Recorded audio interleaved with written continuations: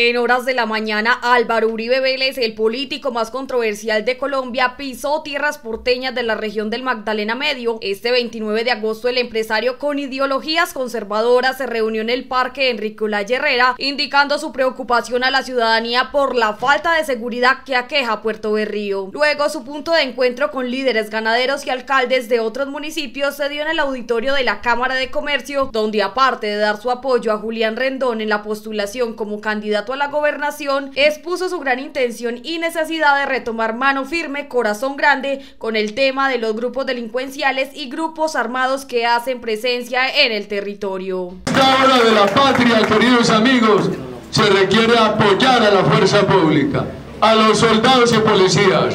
No puede ser que debiliten a nuestra fuerza pública, porque eso es lo que va a producir y, que la pretendan sustituir por guardias campesinas, que es otro paramilitarismo, ahí terminan el otro paramilitarismo. Y van a llevar a la patria a una anarquía, a que todo el mundo desesperado busque cómo defenderse y se aplique aquella norma que dice sálvese quien pueda. Eso no puede ser. Se necesita de nuevo mano firme y corazón grande.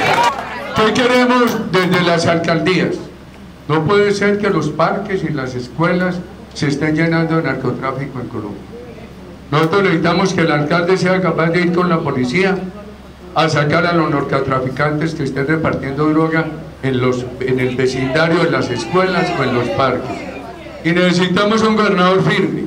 Seguramente una política de seguridad en el departamento entrará en contradicción con el presidente de la República.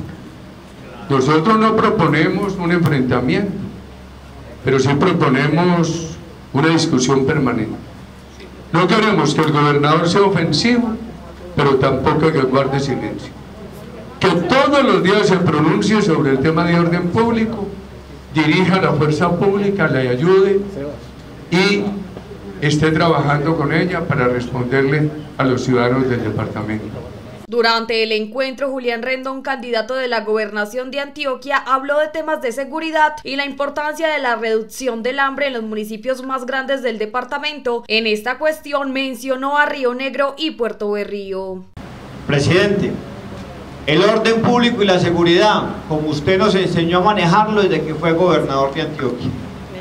A la gente se le olvida eso, pero cuando los soldados y los policías de Colombia encuentran en un gobernador, así es del gobierno nacional, les envíen mensajes equívocos, como le correspondió a usted con Samper, como nos habrá de tocar a nosotros con Petro, si encuentran en el mandatario seccional a alguien que los lidere, que los apoye, que los motive, ellos sabrán hacer lo que siempre han estado acostumbrados a hacer a proteger a los ciudadanos y a combatir a los delincuentes.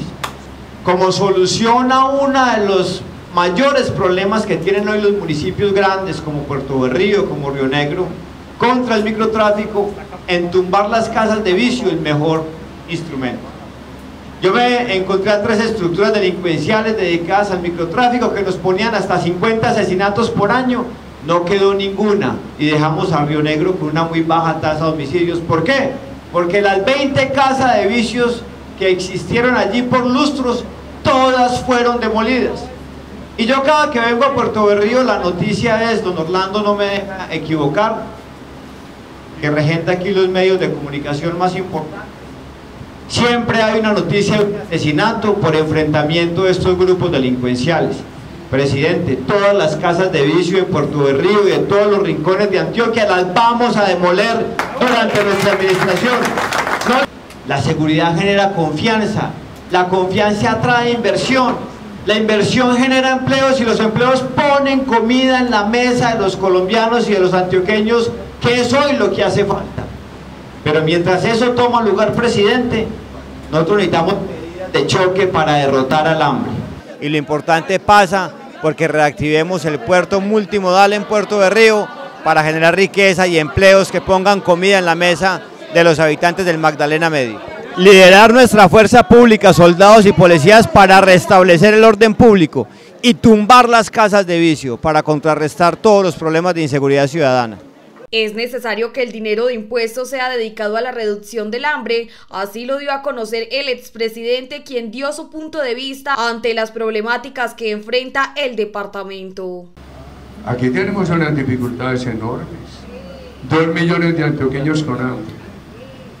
Ahora me decía alguien en el parque que aquí no se sentía hambre desde hace, ya muchos años, que hay unos barrios de Puerto Río con hambre muy delicado esto.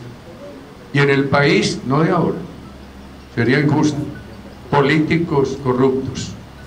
Eso hay que acabarlo, queridos amigos. Y yo me opongo a esa corrupción y la denuncio porque en mi larga carrera pública no me he robado un peso. He manejado con absoluta los recursos del Estado. Álvaro Uribe y su equipo de trabajo posterior al encuentro con los ganaderos y líderes políticos se retiró del municipio de Puerto Berrío con dirección a Puerto Boyacá, otro municipio del Magdalena Medio con importantes asuntos de seguridad con los que debe abordar.